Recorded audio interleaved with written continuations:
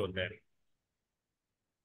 फिर लिखा हुआ finding an item already stored इसका मेन पर्पज ये होता है जो पहले से स्टोर है उसको फाइंड करना है।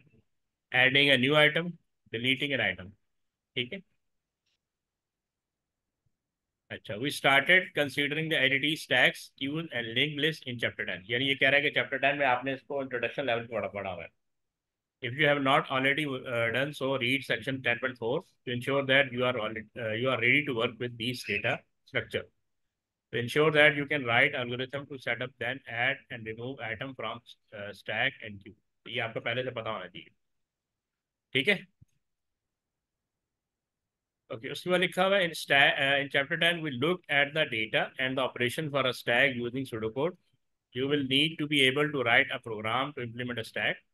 The data structure and operation required to implement a similar stack using a fixed length integer array and separate subroutine for the push and pop operation uh, are set out below in each of the three prescribed programming languages. if you are unsure how the operation will look back at chapter 10 अगर आपको पहले से इसका idea नहीं तो आपको chapter 10 go through करना चाहिए ठीक है अच्छा ये लिखा हुआ है डेटा स्ट्रक्चर आवाज आ रही यस सर आवाज आ रही है देखो ये यहाँ पे ये डेटा स्टैक को इम्प्लीमेंट किया हुआ है यानी इनिशलाइज किया हुआ है। ये इसी तरह लिखते हैं ना public dim stack as integer ये एक एम्प्टी एरे है जिसको अभी डिक्लेयर किया हुआ है इन्होंने। ठीक है? ये बुक के अंदर ही दिया हुआ है। तो बेसिकली इसका पर्पस क्या है? एक आप डिक्लेयर एरे किया हुआ है। इसका नाम स्टैक है एलेवन एलिमेंट इनिशलाइज नथिंग तो हमने अच्छा ये नथिंग के साथ सबको इनिशलाइज कर दिया गया। ठीक है? फिर एक अच्छा इसके अंदर एक बेस पॉइंटर होता है एक टॉप पॉइंटर होता है और एक वेरिएबल स्टैक फुल कॉन्स्टेंट जिसके अंदर भी ये बताते हैं कि कितने नंबर ऑफ़ एलिमेंट आ सकते हैं और आइटम जो हमने सर्च करना होता है। ठीक है? यहाँ तक क्लियर है ये इन्होंने आपकी बुक में दिया हुआ है ठीक है? अब देखो इसको इम्प्लीमेंट कैसे करेंगे। अब तुम्हारे पास अभी लैपटॉप तो नहीं है ना? अभी लैपटॉप है? कंप्यूटर है। कंप्यूटर है ना? कंप्यूटर कंप्यूटर पे हो या किस पे हो? मोबाइल पे हो? मोबाइल कंप्यूटर ये सामने है। हाँ तो क्या तुम इस कोड को इम्प्लीमेंट कर सकते हो? ये विजुअल बेसिक का कोड है जो बेसिकली तो हाँ बोलो क्या कह रहे हो? नहीं मैं कह रहा हूँ अभी फ़िलहाल पहले ये कर अच्छा लेते हैं हाँ। खुद करता हूँ उनको ठीक है। ये मैं आपको दिखा भी देता हूँ ठीक है? ये हो ये बेसिकली जो यहाँ पे ये इन्होंने किया हुआ था ना इसको विजुअल बेसिक में राइट किया हुआ है ठीक है ना?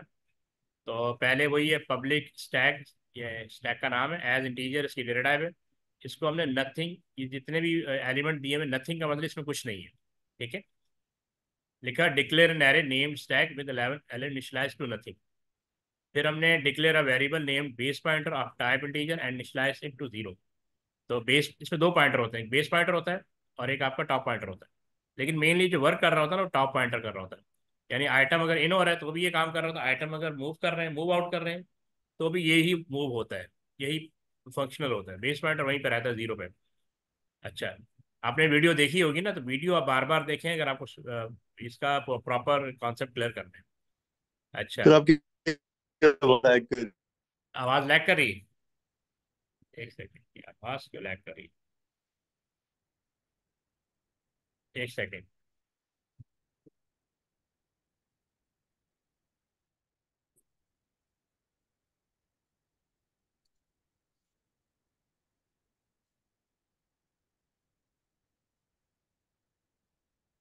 तुम्हारा विजुअल बेसिक स्टूडियो टू है ना? विजुअल बेसिक ट्वेंटी टू है? यस सर कौन सा विजुअल बेसिक यस सर कौन सा है विजुअल बेसिक पास ये आपको मैं शो करा देता हूँ ये देखो। अ, ये रहा।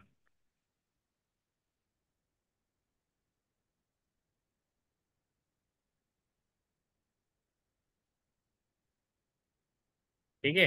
ये विजुअल बेसिक में ही कोड लिखा हुआ है। ठीक है?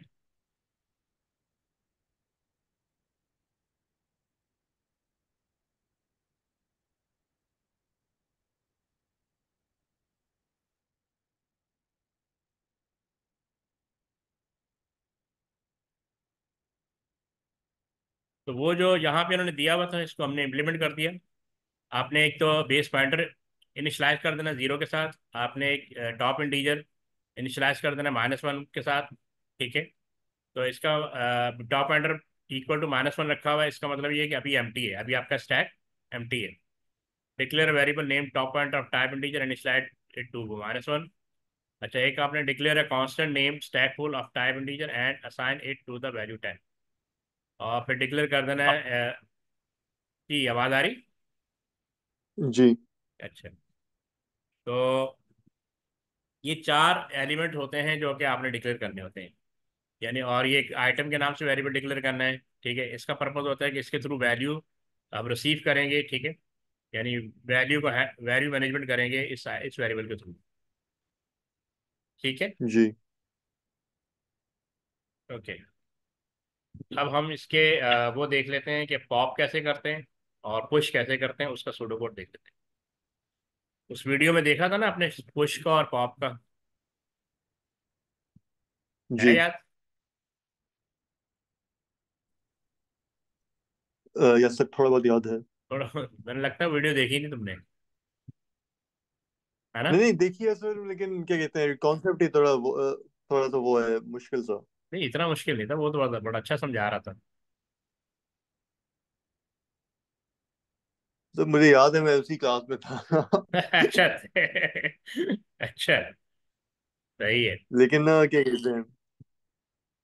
तो ये वै- कॉन्सेप्ट में जनरली बस ये थोड़ा सा मुश्किल लगता है। अच्छा। ये देखो पहले तुम उस वीडियो को दोबारा देखोगे ना फिर और समझ आ जाए कुछ यहाँ समझोगे कुछ वहाँ समझोगे तो आइडिया हो जाएगा। अच्छा अब ये है यस पॉप पॉप का मतलब ये होता है कि आपने स्टैक में से एलिमेंट मूव आउट करवाना है ठीक है? तो अब ये इन्होंने अ, क्या नाम है सूडो सूडो कोड दिया हुआ बल्कि विजुअल बेसिक कोड दिया हुआ है। कि अच्छा पॉप का मतलब होता है कि जब आप आइटम निकालने जाते हैं तो सबसे पहले आपने देखना है कि वो एम्प्टी तो नहीं है। उसके लिए ये लाइन ऑफ़ कोड लिखा जाता है। If top pointer equal to base pointer minus one if top pointer मैंने आपको बताया था ना सिर्फ़ टॉप पॉइंटर मूव कर रहा होता है। बेस पॉइंटर अपनी जगह पे रहेगा। तो अगर टॉप पॉइंटर की value base pointer minus one के बराबर आ जाती है तो ये मैसेज आएगा कंसो यानी stack is empty can not pop आप यानी स्टैक में कुछ नहीं है आप उसमें से कुछ नहीं निकाल सकते।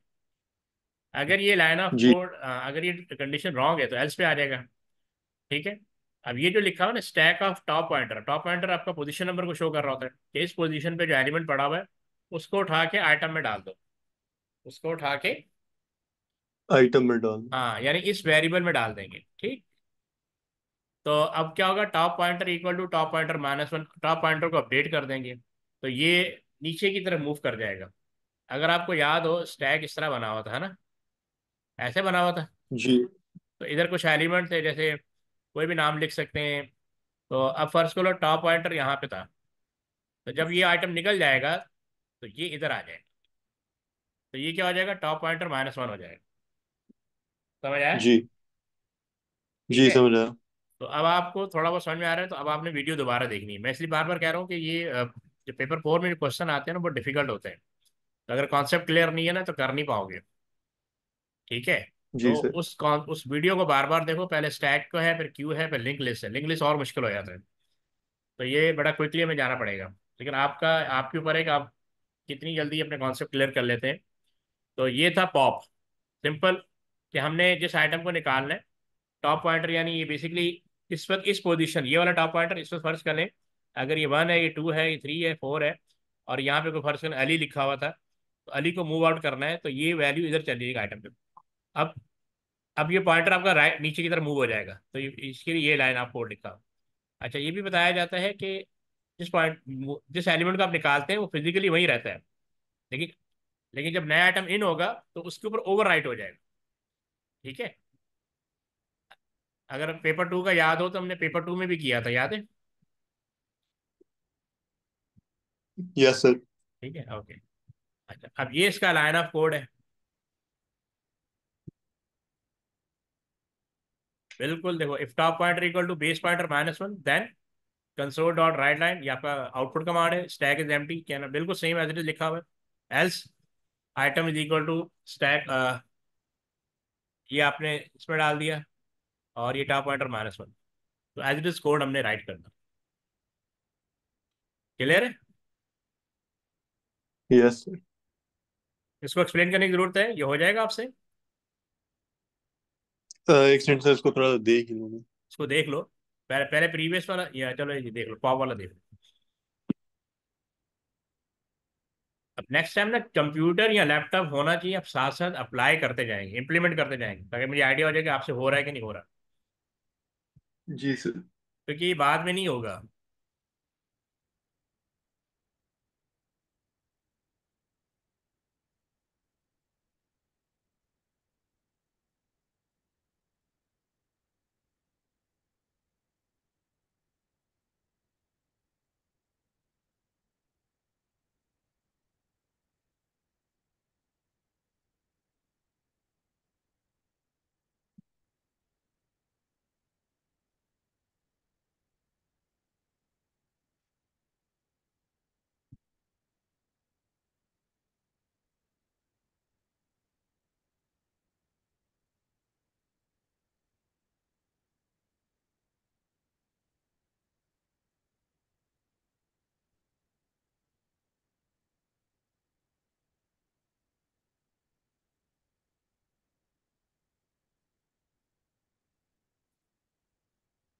हाँ भी क्या समझ में आया?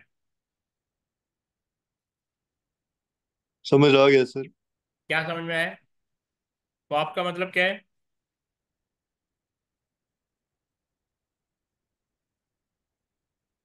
वो स्टैक से हटा देना। हम्म। स्टैक में से आइटम को मूव आउट कर देना। जी।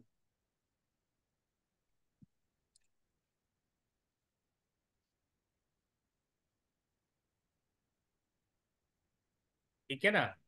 तो ये लॉजिक समझ में आ रही है ना? Top pointer equal to base pointer minus one then console dot write line तो ये बेसिकली स्टैक को चेक करने की लाइन ऑफ़ कोड है कि भाई अगर स्टैक खाली है तो इसमें से आइटम कोई मूव आउट नहीं हो सकता ठीक है? इस लाइन को आपने अच्छी तरह अंडरस्टैंड कर लिया। अब ये सारी चीज़ें प्रैक्टिस करने से आएँगी। क्या आप ये लाइन ऑफ़ कोड अभी लिख सकते हैं? या बाद में लिखेंगे? बाद में लिखेंगे सर बाद में कब लिखोगे? कल आप ले रहे हैं आठ बजे? कल आप ले रहे हैं आठ बजे क्लास? एट पीएम को क्लास है। हाँ आठ पी एम हो जाएगी? यस सर हो जाएगी। हाँ क्योंकि कल आपकी आठ बजे मैंने क्लास रखी हुई अगर आप ले सकते हो तो। हो जाएगी ना? क्योंकि आई थिंक उसके बाद वो वही है क्या कहते हैं पी फोर हाँ नहीं पी फोर तो है मैं वही कह रहा हूँ ना इसलिए कह रहा हूँ। कल आठ बजे की बात कर रहा हूँ आज कल की। कल आप क्लास ले लेंगे आठ बजे? जी जी यस सर आ जाऊँगा। ठीक है ठीक। अच्छा ये आप राइट कर लेंगे ना? यस सर ठीक है अब हम नेक्स्ट कोड पे चलते हैं।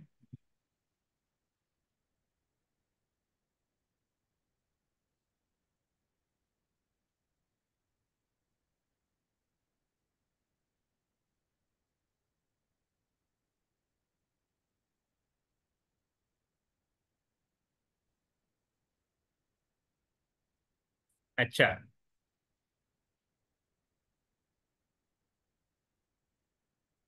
अब ये है आइटम इन करने का। ठीक है? अब ये जो सब लिखा हुआ है इसका मतलब ये प्रोसीजर है है ना? ये क्या है? प्रोसीजर है। प्रोसीजर ठीक है? तो ये भी एक बुक में लिखा हुआ था कि अगर पुश आइटम इन करना है तो उसके लिए आप क्या करेंगे? सबसे पहले तो आप ये चेक करेंगे if top pointer less than stack full minus one अब स्टैक फुल की वैल्यू टेन थी याद है? पीछे जब इनिशियलाइज किया था तो स्टैक फुल की वैल्यू क्या थी? माइनस वन माइनस वन ठीक है? अगर कहता है अगर ये कंडीशन मीट हो रही है टॉप पॉइंटर अगर लेस देन है स्टैक फुल माइनस वन से। ठीक है? इस- ये top pointer less than stack full minus one then top pointer को अपडेट कर दे यानी ये जो आइट इस तरह का बना होगा स्टैक ठीक है? तो इसका अपना एक साइज़ होगा। तो फ़र्ज़ करें सबसे नीचे तो यहाँ पे अली होगा अरसलान होगा दाऊद हो सकता है। अब इस यहाँ पे आइटम इन होगा ठीक है? लास्ट इन फ़र्स्ट आउट है। लीफो पे काम करता है ये याद रखना। किस पे काम करता है? यस लीफो लीफो पे। तो अब यहाँ पे आइटम इन करना है ठीक है? तो कह रहा है अगर टॉप इसका मतलब टॉप पॉइंटर यहाँ पे होगा ठीक है? ठीक है?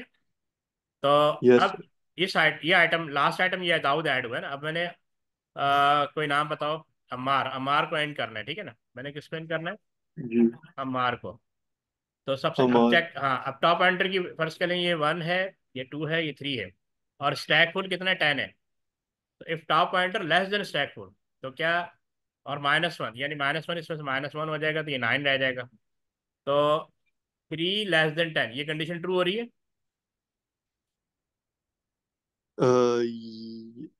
थ्री इज़ लेस ठीक देन टेन हाँ ये कंडीशन ट्रू हो रही मैं कह रहा हूँ इस वक्त आपका स्टैक जो आपका जो टॉप पॉइंटर है वो थ्री पोजिशन थर्ड पोजिशन पे है ना? ये वन टू थ्री नज़र आ रहा है आपको? यस कलर चेंज कर दो।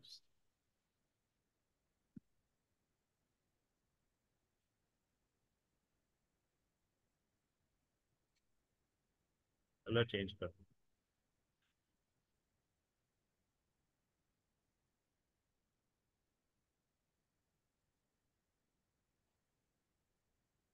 ये वन है ये टू है ये थ्री है। सॉरी गलत हो गया। एक सेकंड किधर गया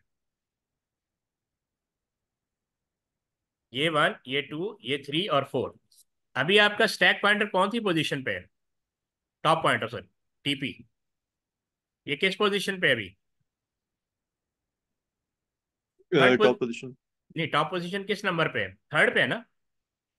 यस तो इसीलिए थ्री लेस देन देखो टॉप पॉइंटर की वैल्यू थ्री है।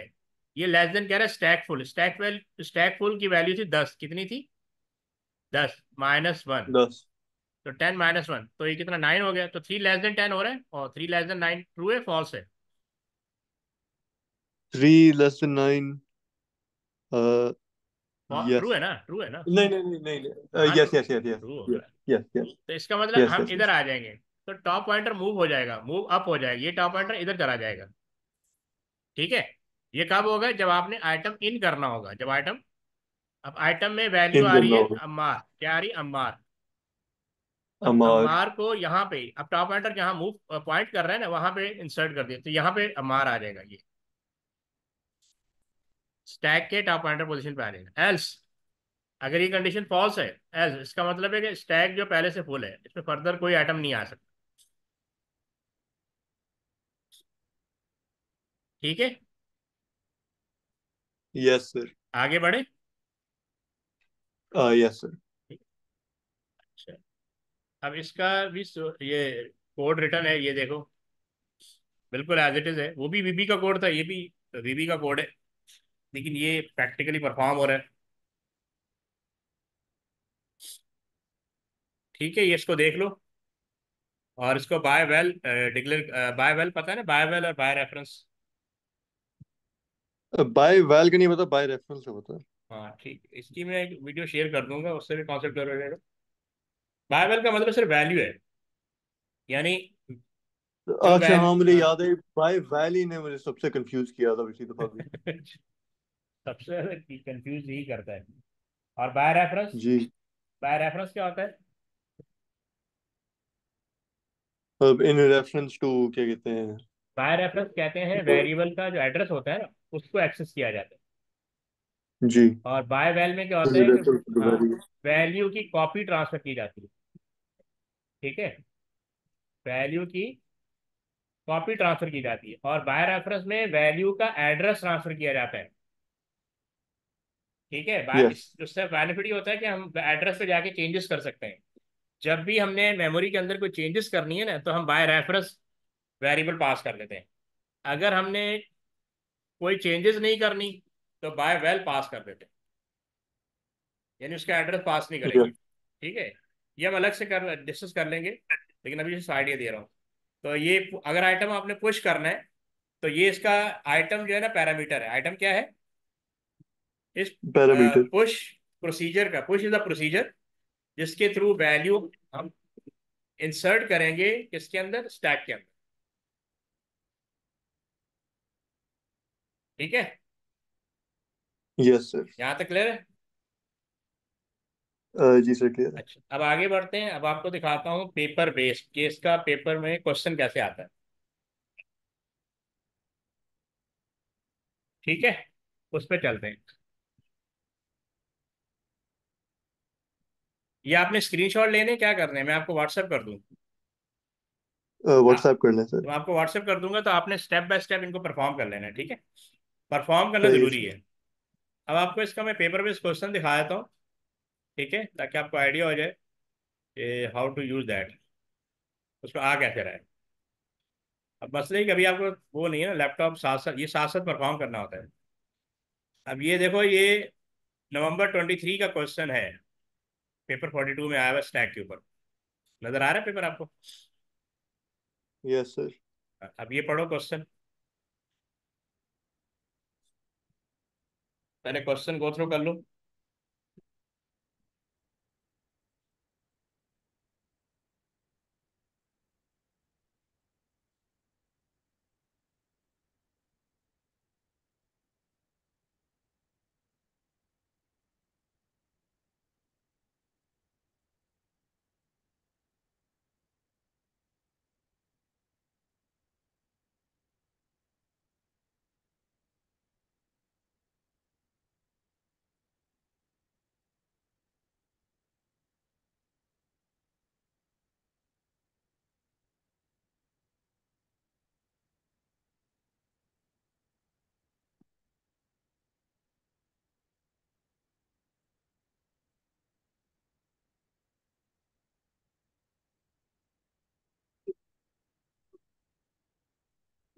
हाँ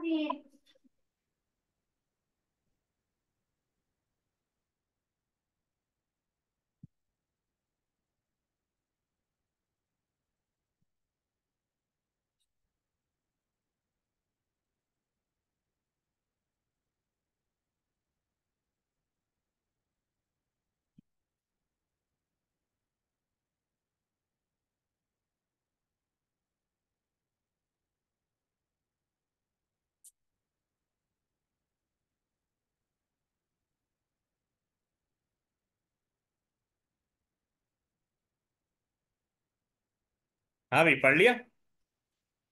यस सर क्या समझ में है क्या करना है? इन्होंने क्या रिक्वायरमेंट दी? ये कह रहा है अ प्रोग्राम पहली तो बात लिखा है कि मेक श्योर दैट ये तो वो एविडेंस फ़ाइल दी होती है open the evidence document evidence dot D O C दिया होता है। और make sure that your name centre number and candidate number appear on every page of this document ठीक है? और this document must contain your answer to each question ये भी मैं बता दूँगा कैसे करते हैं। अच्छा ये फ़ाइल हम देख इस पर वर्कआउट कर लेंगे। फिर लिखा हुआ है कि save this evidence document in your work area आपने एक वर्क एरिया बना देना है इसी पेपर के नाम से ना। एक फोल्डर बना लोगे इसी पेपर के नाम से। नवंबर 2023 और उस वक्त आप दे आ, इस दफ़ा तो आप दे रहेंगे जून 2024 के नाम से फोल्डर बना लोगे। उसके अंदर आपने ये एविडेंस डॉक्यूमेंट सेव कर लेंगे ये आपको गिवन होगी। ये सोर्स फ़ाइल दी होगी। ठीक है? फिर लिखा हुआ है कि save this evidence document in your work area as evidence underscore followed by your centre number candidate number for example evidence ये सारी एग्जांपल दी हुई है। ये सब हम देख लेंगे। अच्छा फिर लिखा हुआ है a class declaration can be use to declare record.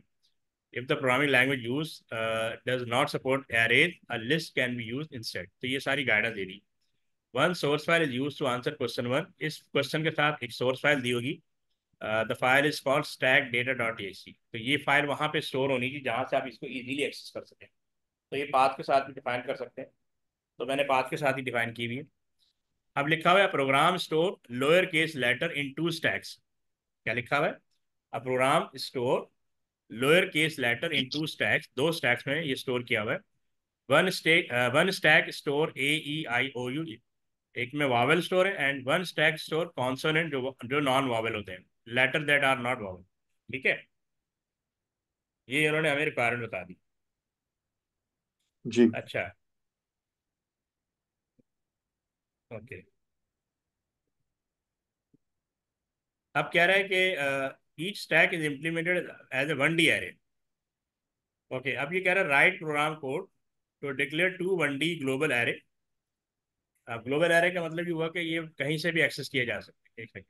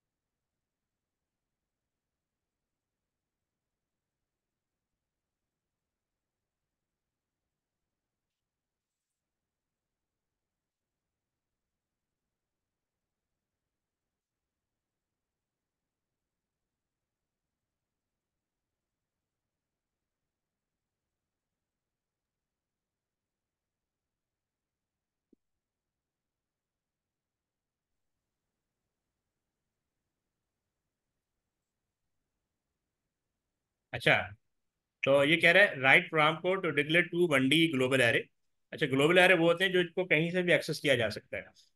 एक है स्टॉक वावल स्टैक वावल के नाम से और एक स्टैक कंसोनेंट के नाम से। Each array need to store up to hundred a letter the index of the first element in each array is zero if you are writing in Python include declaration using comments Python में variable declare नहीं होते, ठीक है? और फिर कह रहे हैं save your program as question one underscore November twenty three.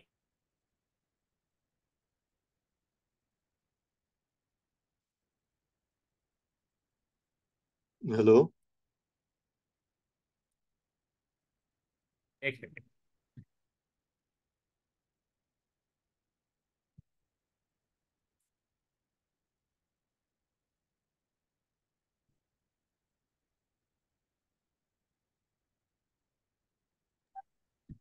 Okay तो ये भी आपको मैं दिखाता हूँ कि इसको कैसे परफॉर्म करना है मतलब डिक्लेयर कैसे करना है। तो दो बस वो बताने हैं क्या कहते हैं।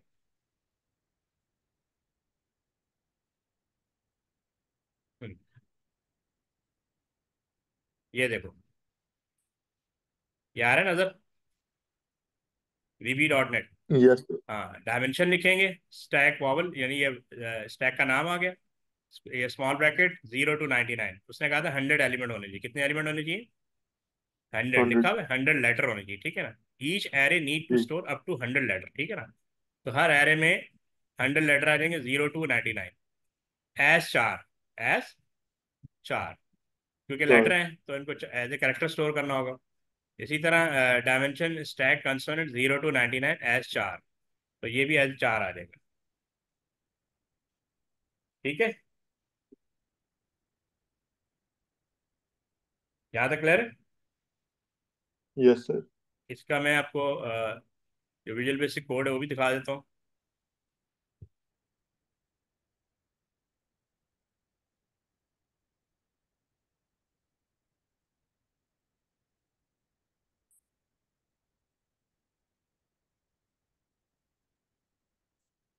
ये देखो। ये आपका वन ए वन आपने इस तरह लिख देना वन ए वन ताकि आपको आइडिया हो कि ये आप जब प्रोग्राम कोड लिख रहे होगे ना तो इस तरह लिखते जाओगे। फिर आपको याद रहेगा कि ये कोड बस इतना ही इस वन ए वन की रिक्वायरमेंट बस यही थी कि दो एरे डिक्लेयर करने स्टैक वावल के नाम से और स्टैक कंसोनेंट के नाम से। और इनकी इनिशियल वैल्यू ज़ीरो है और नाइन्टी नाइन तक जाएगा। दोनों है। और एस चार। क्लियर जी। ठीक है। अब आप इसे परफॉर्म कैसे करो क्योंकि अगर आप अभी आपका सिस्टम होता है ना तो मैं आपको साथ साथ परफॉर्म करवा देता तो दो मिस्टेक होती हैं वो साथ साथ क्लियर हो जाती है। ठीक है? जी। ओके अब नेक्स्ट उदाहरण पे जाते हैं।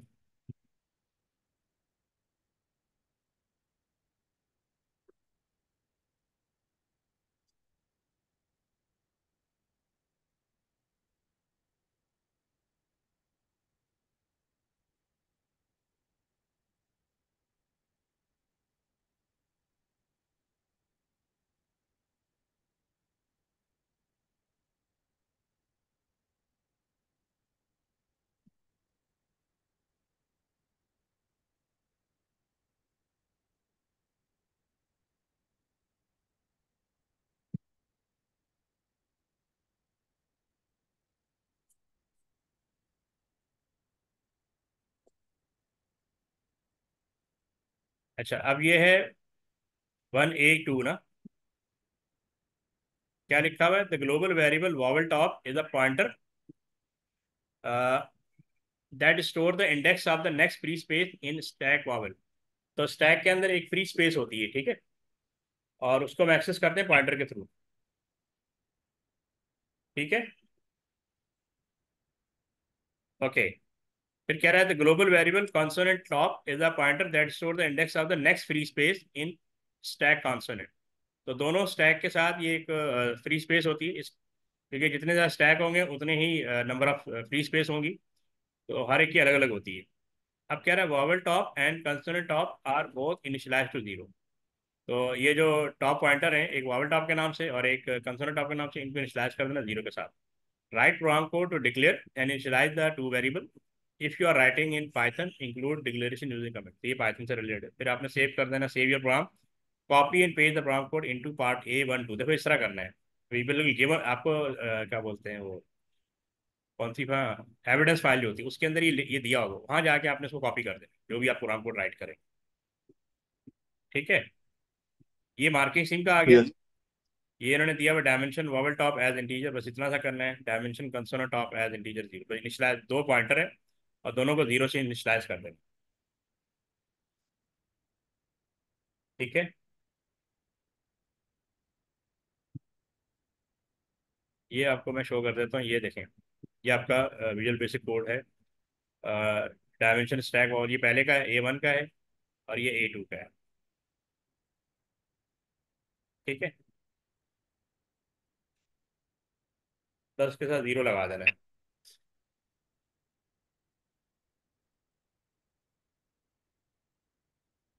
ठीक है यहाँ तक क्लियर है?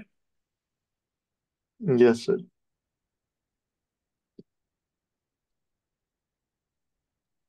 अब हम इसके पार्ट बी पे आते हैं।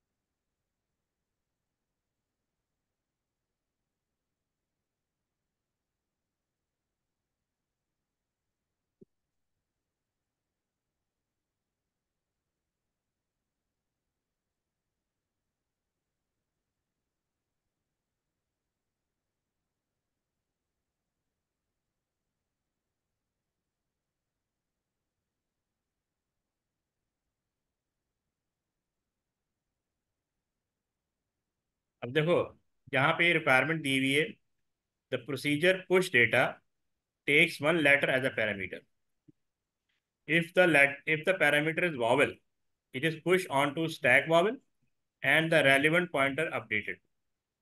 देखो, अब इसके पीछे वही कॉन्सेप्ट है, जो अभी स्टैक पढ़ा ना हमने, कि जब कोई आइटम इन होता है तो पॉइंटर कैसे अपडेट करना है, ये आपको पता होना चाहिए। If the stack is full suitable message is output वही वही बात कि अगर स्टैक फुल होगा तो आपने क्या लाइन ऑफ़ कोड लिखना है। ये पीछे कॉन्सेप्ट क्लियर होना चाहिए। If the parameter is a consonant it is push on to the stack consonant and the relevant pointer update ठीक है? If the stack is full a suitable message is output बस दोनों चीज़ें same you do not need to validate the parameter is the letter अभी validate करने की ज़रूरत नहीं कि लेटर है नंबर है कुछ भी है। Write program code for push data यानी अभी वैलिडेशन चेक कोई नहीं लगा। ठीक है? रिक्वायरमेंट समझ में आ गई? Yes तो इसके पीछे लॉजिक वही है कि आइटम स्टैक के अंदर इंसर्ट कैसे होता है? तो अभी हमने शुरू में देखा था ना पुश वाला। सुडो कोड याद है? Yes sir. वही चीज़ यहाँ पे अप्लाई होनी है दोनों जगह पे।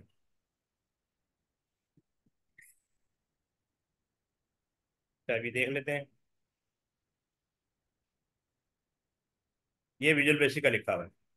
यहाँ पे आप लिख देंगे सब पुश डेटा प्रोसीजर बनाना है। पुश डेटा प्रोसीजर का नाम है और लेटर जो है वो पैरामीटर है। ये इसने क्वेश्चन में बताया हुआ है कि लेटर को आपने एज ए पैरामीटर लेना है और इसकी डेटा टाइप क्या है? एस चार। अच्छा अब यहाँ पे कंडीशन लिख देंगे कि कौन से स्टैक में कौन सी वैल्यू जाएगी। तो यहाँ पे हमें डिफ्रेंशिएट करना होगा। जैसे दिया if letter equal to A small A और लेटर इक्वल टू ई और लेटर इक्वल टू आई और लेटर इक्वल टू ओ और letter equal to U then अगर ये लेटर मिल रहे हैं लेटर के अंदर ये ये करेक्टर आ रहे हैं तो हमने किसको तो अपडेट कर देना। If if vowel top equal to hundred अगर वो हंड्रेड पे पहुँच चुका है तो यहाँ पे मैसेज आना चाहिए console dot ran the stack full else अगर वो आ, आ, मतलब ब्लैंक है मतलब उसमें जगह है फुल नहीं है तो ये कंडीशन वही वाली देखो सेम लाइन ऑफ़ कोड जब पीछे पड़ा था यहाँ पे आइटम आ रहा था ना यहाँ उस जगह लेटर आ गया।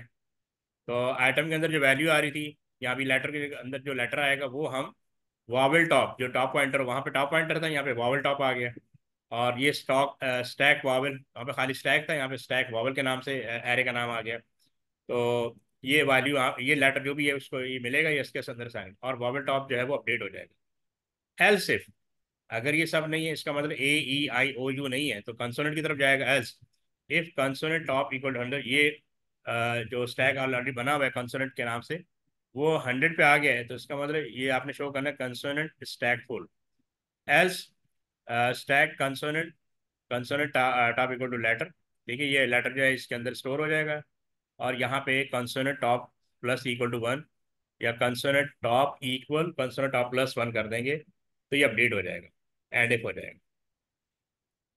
तो यानी इसका मतलब होगा कि इस तरह का कोई एरे बना होगा, ठीक है, अगर ये वो बना है क्या नाम है? कुछ डेटा करेंगे किसके अंदर? वॉवल स्टैक वॉवल ये ये वाला है। अगर ये फुल नहीं है तो कंट्रोल इधर आ जाएगा। इसका मतलब कि फ़र्ज़ कर लें कि जो इसका वॉवल टॉप है वॉवल टॉप वो इधर कर रहा है, यहाँ पे। तो अगर ए इसको मिल गया तो ए को इंसर्ट करना है, ठीक है ना? तो जब ए को इंसर्ट करना है तो ए यहाँ पे होगा।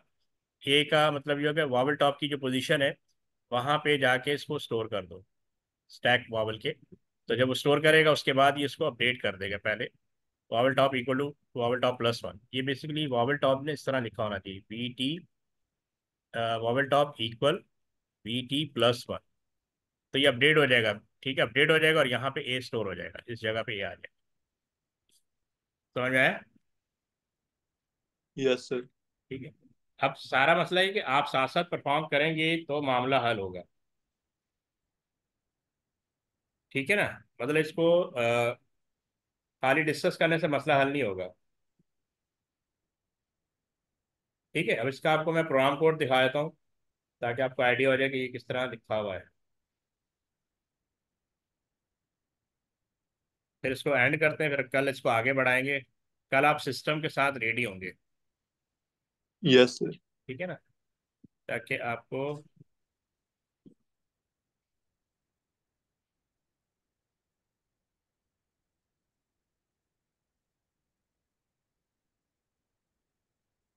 हम्म।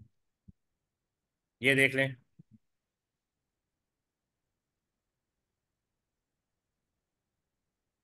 ये ऊपर गलती से बी वन लिखा हुआ ये बेसिकली सर आपका ए वन और ए टू है। उसके बाद ये बी वन आ गया। ये बी वन का कोड आ गया जो भी आपने देखा था। कुछ सब कुछ डेटा और ये सब के नीचे एंड सब होगा ठीक है? सब के नीचे एंड सब होगा और कुछ डेटा उसके स्टैक का नाम ऑपरेशन का नाम है जिसने लेटर को पुश करना है स्टैक के अंदर। ये लेटर पैरामीटर है जो उसने कहा था कि आपके पास उसके बाद लेटर के नाम से पैरामीटर होना चाहिए एस चार होना चाहिए। If letter equal to A और लेटर इक्वल टू ई और लेटर इक्वल टू आई और लेटर इक्वल टू ओ और letter equal to U then vowel top equal to hundred then इसमें मैसेज शो कर दे कि अगर पहले से वॉवल टॉप हंड्रेड पे पहुँच चुका है तो console dot write line vowel stack full का मैसेज आ जाए। एल्स अगर ये कंडीशन रॉन्ग है तो इसका मतलब इसके अंदर स्पेस मौजूद है तो जो भी लेटर आपको रिसीव हो रहा है, वो वॉवल टॉप की पोजीशन पे जाके स्टोर कर दे और उसके बाद इसको अपडेट कर दे।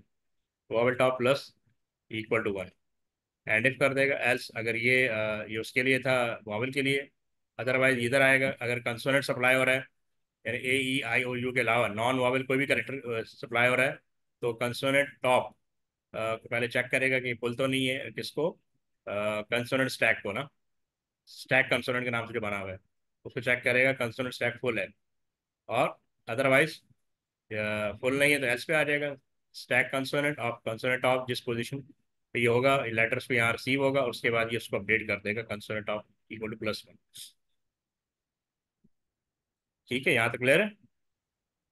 यस सर कोई इशू नो सर एक सेकेंड प्लीज़ देख लूँ।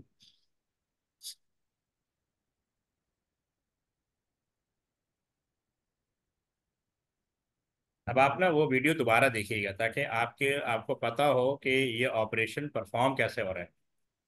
वो वीडियो बहुत अच्छी है वैसे और काफ़ी हेल्पफुल है। एक चीज़ मैं आपको दिखाना चाह रहा था जो मार्किंग सी में भी मिस्टेक है वो यहाँ पे क्लियर करो क्योंकि पहले हम टॉप पॉइंटर को अपडेट करते हैं। उसके बाद हम आइटम इंसर्ट करते हैं ना ये मैं आपको दिखाऊँ।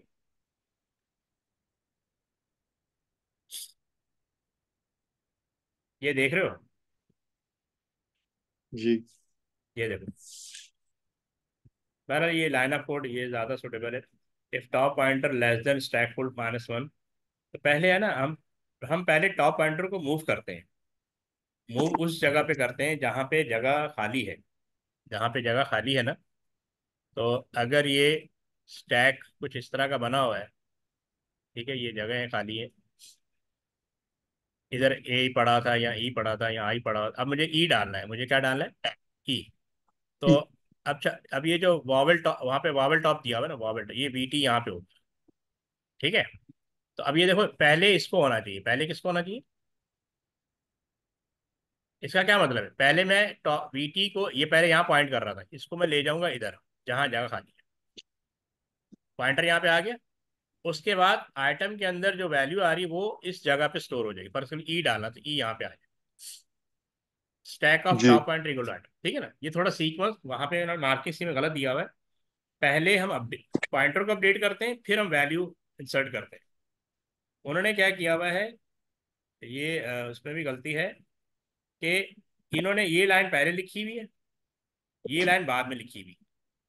इससे आपने कोशिश करना है कि ये लाइन पहले, ये ये लाइन पहले लिखनी है आपने। पहले पॉइंटर अपडेट होगा, उसके बाद वैल्यू इंसर्ट होगी।